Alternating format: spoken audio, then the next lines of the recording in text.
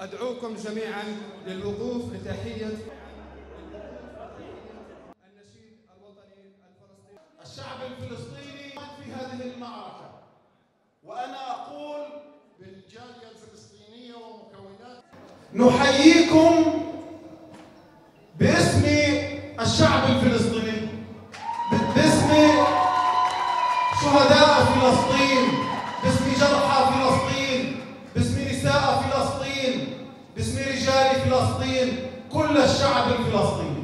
شعبنا الفلسطيني البطل الذي يواجه أعتى آلة عسكرية في المنطقة.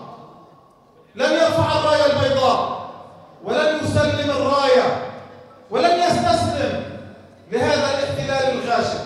نقدر لكم ونشكركم على هذه المشاعر النبيلة.